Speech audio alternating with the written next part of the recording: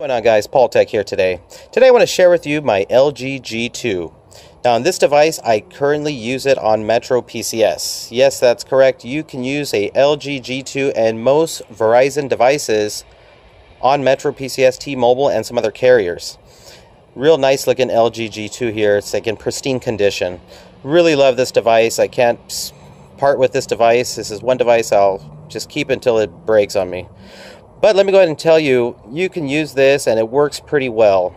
There are some features that won't work on Metro PCS uh, and some other carriers just because they are some features that are just a Verizon exclusive. You have to be on Verizon's plan in order to access those features. One of the features is, I'll go ahead and open up the dialer here, is the video calling feature. Now, this device does have the video calling feature like the LG Stylo, Stylo 2, J7, but uh, I can't access it on this device because I have to be on Verizon's plan in order to use it. So that's one of the features that doesn't work, unfortunately, because I really like that feature. And that's why I like Metro PCS devices because it's just built right into the dialer. But instead, I would have to go to advanced calling. Let me go to settings here real quick. So in order to get that feature, I have to go to advanced calling, activate advanced calling, and this right here is how you will activate the uh, video calling feature, but it won't allow me to do that, unfortunately. But there are some other features that do work, and they work very well on this device on Metro PCS.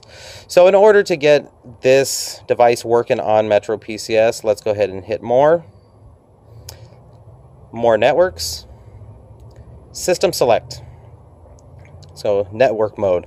So most Verizon devices has this mode right here, the global mode. So the G2 has it, uh, S6 has it, uh, S7 Edge I believe has it as well. I'll have to double check.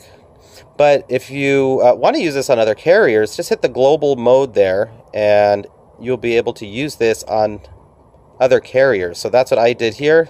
Hit global now this device does have a SIM card slot there, so I popped in my Metro PCS SIM card already. As you can see, this is on 4G LTE. I'm not connected to Wi-Fi or anything like that. Next, once you choose global mode, you got your SIM card in, you want to go to APN now. Now you have to set this up in order to get the features to work. So APN settings, you have to have the settings in there. So I have it right there. It's on.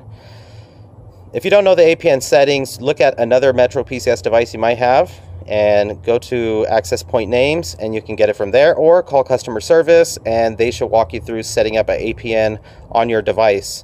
Um, that's what I do and it works every single time. So you set up that and basically you're good to go. Power your phone uh, off and on and you should be ready to go. I'll go ahead and give you a sample here. Metro PCS some listings for Metro PCS within 4G LTE, not on Wi-Fi. So I am using this on Metro PCS right here. So there you have it. So yeah, if you do own a LG G2 for Verizon, you can definitely use this on Metro PCS, T-Mobile, and some other carriers. This is a global device. It is unlocked, so you don't have to pay for it to be unlocked. As long as it has a clean IMEI number, your device is paid off. And you are and you will definitely be good to go. As you can see, I just got a notification there on 4G LTE. Another email there. So yeah, everything works pretty well. Like I said, there are going to be some features that don't work 100% just because this is not designed for Metro PCS. But if you want, you can go ahead and download the My Metro app and you just get that off the Google Play Store and then you'll have access to your account right there. So yeah, so this is a pretty good device. I know this is an older device, but I'm sure there are people out there that do still have their LG G2. It's paid off. It's sitting in the drawer maybe.